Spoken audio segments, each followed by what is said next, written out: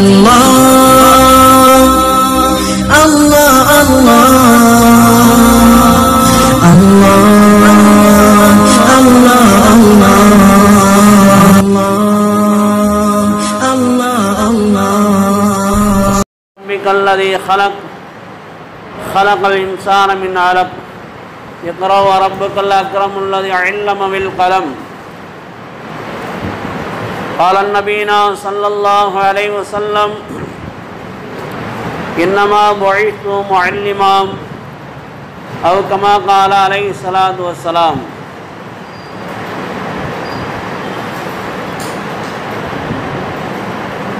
அளவற்ற அருளாளனும் நிகரற்ற அன்புடையன்மாகிய எல்லாம் வல்ல அல்லாஹ் சுபஹானும் தாலாவின் திருநாமம் போற்றி எனது உரையை ஆரம்பம் செய்கின்றேன் சலாமும் சலவாத்துகளும் ஈரோலக சரதார் நபிகள் பெருமானார் சல்லல்லாஹ் அலைஹி வஸல்லம் அன்னவர்கள் மீதும் அவர்களை பின்பற்றிய உத்தம சத்திய சஹாபாக்கள் தாபீன்கள் தபா தாபீன்கள் உலகத்தில் உண்டான நல்லவர்கள் குறிப்பாக நம்ம அனைவர்கள் மீதும் அல்லாஹ்வுடைய சாதியும் சமாதானம் என்றென்று உண்டாகட்டுமாக அல்லாவுடைய அருளையும் அன்பையும் தேடி வந்திருக்கின்ற அன்பார்ந்த பெரியவர்களே சகோதரர்களே உங்கள் அனைவர்களுக்கும் எனது காணிக்கான சலாமினை தெரிவித்துக் கொள்கின்றேன். அஸ்லாம் அலைக்கும் வரமத்துல்லாஹி தாலா பரக்காத்து.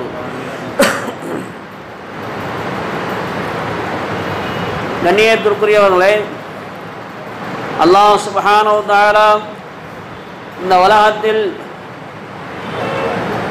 பதினெட்டாயிரம் படைப்பினங்களை அல்லாஹ் படைத்து அதில் உயர்ந்தவர்களாக சிறந்தவர்களாக உன்னதமானவர்களாக அஷ்ரஃபுல் மஹ்லூகாத் படைப்பினங்களில் சிறந்தவர்களாக மனிதர்களை அல்லாஹ் தலா படைத்திருக்கின்றான். அந்த மனிதர்களை படைத்து மற்ற எல்லா படைப்புகளை விட இந்த மனித சமுதாயத்துக்கு ஆறு அறிவை அல்லாஹ் கொடுத்திருக்கிறான். மற்ற படைப்புகளுக்கு ஐந்து அறிவு இந்த மனிதனுக்கு மட்டும் சிந்திக்கக்கூடிய ஆறாவது அறிவை அல்லாஹ் கொடுத்திருக்கின்றான். நாம் அந்த அல்லாஹுவை புரிந்து அறிந்து அவனுடைய கட்டளைகளை ஏற்று அதன் வழியில் நடப்பதற்குத்தான் நமக்கு ஆறாவது அறிவு. அல்லாஹ் சொல்கின்றான் வல்லாஹ் அஹ்ரஜக்கும் மின் உம்மஹாதிக்கும் லா தழமுன ஷெய்ஆ அல்லாஹான் உங்களுடைய தாய்மார்களுடைய வயிற்றிலிருந்து நீங்கள் வெளியாகக்கூடிய நேரத்தில் லா தாழமுன ஷெய்ஆ எதையும் அறியாதவர்களாக நீங்கள் பிறந்தீர்கள். வல்லாவ அஹ்ரஜக்கும் மின் புதூனி உம்மஹாதிக்கும் லா தாழமுன ஷெய்யா பஜாலக்கும் உஸ்தமா வல்லம் சார வல்லா ஃபீதா அவன்தான் உங்களுக்கு செவி புலனையும் நல்ல விதமாக காது கேட்கின்றது. வல் அம்சார பார்வையையும் வல் ஆஃபீதா சிந்திக்கக்கூடிய திறனையும் அவன்தான் உங்களுக்கு கொடுத்தான்.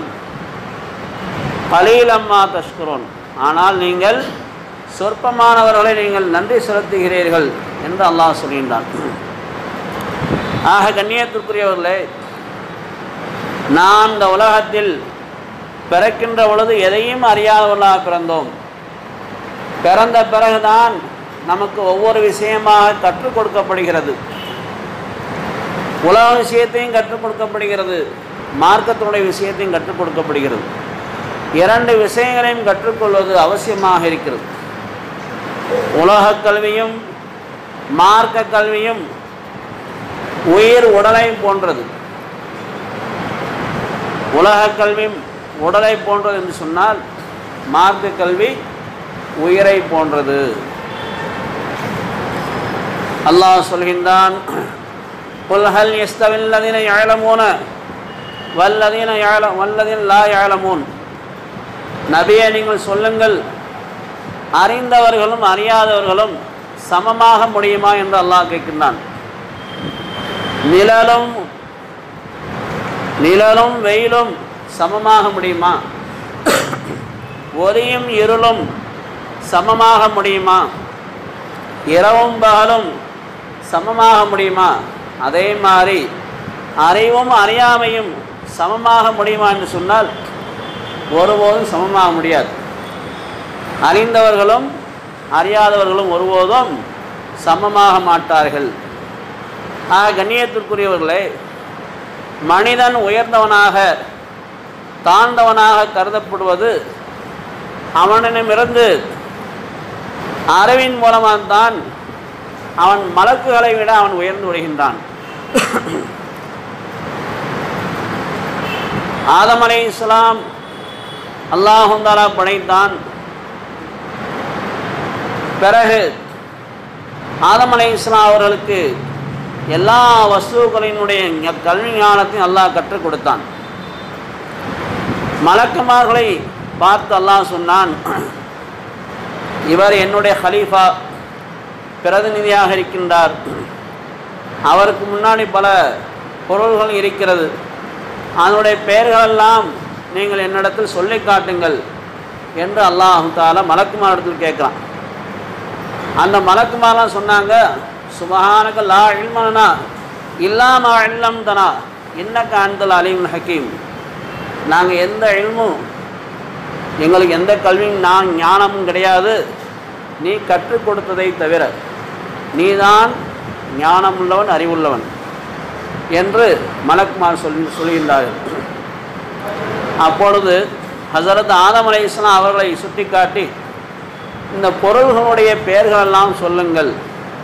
அதனுடைய விளக்கத்தை சொல்லுங்கன்னு அல்லாஹ் சொல்லும்போது உலகத்தில் உள்ள எல்லா பொருளையும் அதனுடைய பெயர்களையும் ஆதம் அலி இஸ்லாம் சொல்லி காட்டினாங்க.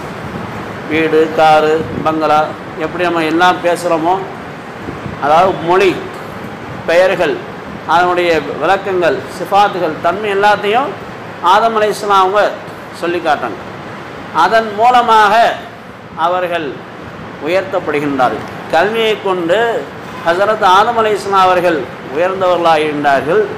பிறகு அல்லாஹ் சொல்லினான் ஒஸ்துதோலி ஆதம அவருக்கு கல்வி ஞானம் இவ்வளோ இருக்கின்றது. அதனால் அவருக்கு நீங்கள் மரியாதை செய்யுங்கள் சஜா செய்யுங்கள் என்று சொல்லி மலக்குமார்கள் அல்லாஹ் என்ன செய்யறான் சஜா செய்ய சொன்னான். யாருக்கு? அல்லாவுடைய கட்டளை. ஆதம் அலை இஸ்லாம் அவர்களை கண்ணியப்படுத்தும்படியாக சஜா செய்தார்கள். அதாவது அந்த இடத்துல வந்து அல் இன்ஹினா அப்படிங்கிறாங்க. பணிந்தார்கள் குனிந்தார்கள் மரியாதை செய்தார்கள் என்று அர்த்தம். சஜாசின்னு சொல்லும்போது இப்லீஸ் மட்டும் சஜா இல்லா இப்லீஸ். பக்காலமினல் காஃபிரேன். அல்லாஹ் சொல்லிவிட்டான் நீ காஃபிர நிராகரித்து விட்டாய் நீ லானத்துக்குரியவனாயிட்டுன்னு நல்லா தூக்கி எறிஞ்சிட்டான்.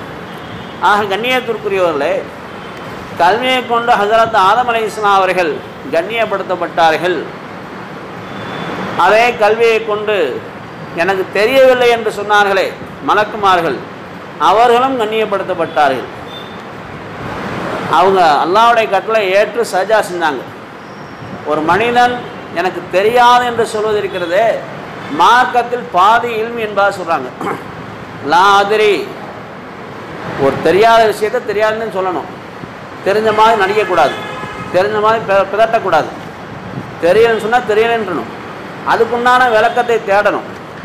எனக்கு எல்லாம் தெரியும் என்று சொல்லும்போது அவனுக்கு கல்வியினுடைய வாசல் அடைபட்டு விடுகிறது. மலக்குமார்கள் லா இல்மனா சுபஹானக்க லா இல்மனா இல்லாமல் அல்லம்தனா. நீ கற்றுக் கொடுத்ததை தவிர எங்களுக்கு வேறு எதுவும் தெரியாது. எதை கற்றுக் கொடுத்தாயோ அது எங்களுக்கு தெரியும். என்பதாக ஒத்துக்கொண்டாங்க. தெரியலைங்கிற விஷயத்தை ஏற்றுக்கொண்டாங்க. அதற்காக வேண்டி சரி ம- ஆதம் அலி இஸ்லாம் சஜாசின்னு சொன்னாங்க செஞ்சாங்க. அல்லாஹத்தில் அவங்கள ஏற்றுக்கொண்டான். ஆனால் அதே நேரத்தில் இப்லீஸ் மறுத்ததுனால அவன் நிரந்தரமாக நரகத்திற்குரியவனாகவும் மனிதர்களுக்குண்டான எதிரியாகவும் ஆகிவிட்டான். இன்ன ஷைதான் இன்சானி அதுவும் முபீன். பகிரங்கமான விரோதி ஆயிட்டான்.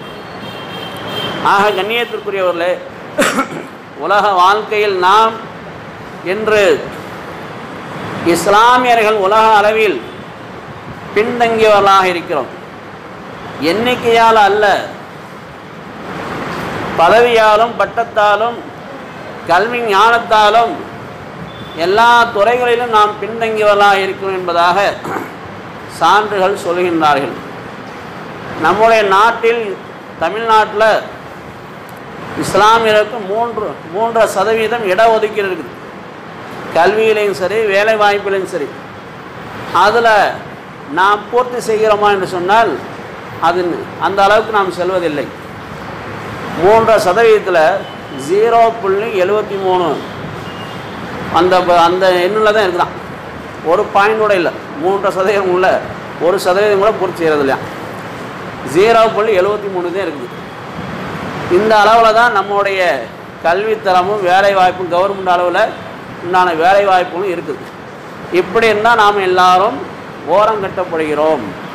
ஆக கண்ணியத்திற்குரியவில்லை நம்முடைய பிள்ளைகளை எல்லா துறையிலையும் தீனுடன் மார்க்கத்துடன் அந்த கல்வி ஞானத்துடன் உலக கல்வியிலையும் உயர்ந்தவர்களாக ஐஏஎஸ்சியாக ஐபிசியாக வக்கீல்களாக ஜட்ஜுகளாக டாக்டர்களாக ரயில்வே துறையில் எல்லா துறையிலும் நம்முடைய பிள்ளைகள் படித்து திறமையுடன் வருவதற்கு டென்த்து ப்ளஸ் டூ காலேஜு அது எல்லாம் கடந்து ஒரு பது இருபது வருஷம் இருபத்தி ஒரு வருஷம் அந்த கல்வி ஞானத்தோட நம்ம பிள்ளைகளை நம்ம கொண்டு செல்லணும். இதற்கு உதவியாக செல்வந்தர்கள் நல்ல விதமாக ப படிக்கக்கூடிய மாணவர்களுக்கு பொருளால் உதவி செய்து அவங்கள ஊக்குவித்து அவங்கள தூக்கி விடணும். நல்லா படிக்கக்கூடிய பிள்ளைகளை இன்னும் நாம் படிக்க வைக்க வேண்டும். கடையிலேயே அதிலே கொண்டு விட்டு வெளிநாட்டுக்கு அனுப்பிச்சுக்கோங்க அந்த எண்ணத்தில் இல்லாமல் நல்ல விதமாக அவர்களை ஆரம்பத்திலிருந்தே அவர்களை தட்டி கொடுத்து கொண்டு போகணும். சொல்கிறாங்க அஞ்சாவது வரைக்கும் பிள்ளை நல்லா மார்க் எடுத்துக்கலாம். ஆறாவதுலேருந்து அப்புறம் பார்த்தீங்கன்னா மா மேக்ஸில் வந்து மார்க் கம்மியாயிடுறாங்க. அதில் தான் அடி வாங்குது. அதை கரெக்ட் பண்ணணும். இப்போ ஆறு வயசுலேருந்து பதிமூணு வயசு உள்ள பிள்ளைகள். டென்த்து அதுவாக இந்த மாதிரி ஸ்கூல் பிள்ளைகளுக்கு நல்ல டியூஷன் சென்டர் வச்சு அவர்களை ஊக்குவித்து அவர்களை மேலே கொண்டு செல்ல வேண்டும். இதை நம்ம வந்து பொறுப்பெடுக்கணும்னு சொல்லி கோடம்பாக்கம் அந்த பள்ளியாசுடைய நிர்வாகம் பொறுப்பெடுத்துருக்கு. இன்ஷா அல்லா ரெண்டு வாரத்தில் அது பெற்றோர்களை கூப்பிடுவாங்க. நம்ம அங்கே அந்த பள்ளியாசில் இருந்து அதுக்குண்டான வழிமுறைகளை அறிந்து நம்முடைய பிள்ளைகளை நல்ல கல்விமான்களாக ஈரலக பட்டதாரிகளாக ஆக்குவதற்கு இன்ஷா அல்லாஹ் முயற்சி செய்வோமாக. அஸ்லாம் அலைக்கும் வரமத்துல்லா வரகாத்து என்எஸ்கே நகர் பள்ளிவாசலுடைய செயலாளர் கண்ணியத்துக்குரிய ஹாஜர் வந்திருக்கிறாங்க. அவங்க ஒரு மிஸ்வான் மதரசா வச்சுருக்காங்க. ஐநூற்றி ஐம்பது அடி சதுரடியில் இடம் வாங்கி அதில் மூணு அடுக்கு கட்டிட்டாங்க. வெறும் செங்கல் சிமெண்ட்டில் தான் நிற்கிது மேல் பூச்சு கதவு ஜன்னல் கரண்ட் வேலை டைல்ஸ் வேலை எல்லாம் அதிகமான வேலையெல்லாம் இருக்குது ஆகினான் இன்ஷா அல்லாஹ் அதில் பெண்கள் நிஸ்வான் மு- ஆலிமாக்கள் ஓதிக்கொண்டிருக்கிறாங்க. ஆன்லைனோட படிச்சிருக்கா சொல்கிறாங்க மக்தம் நடக்குது. நூறு பிள்ளைய மக்தவில் ஓதுறாங்க. மிஸ்வானில் பெரிய பெண்கள் வீட்டு பெண்கள்லாம் வந்து ஓதுறாங்க. ஆகையினால் இன்ஷா நம்ம பகுதியில் இருக்கிற என்எஸ்கி நகர் மஸ்ஜித் யாக்கூப் பள்ளிவாசல் மதரசாக்காண்டி அந்த கட்டண நிதிக்காண்டி உதவியில் வந்திருக்கிறாங்க உதவி செய்ய. அஸ்லாம் அலைக்கும் வரமத்துல்லாஹி வரகாத்து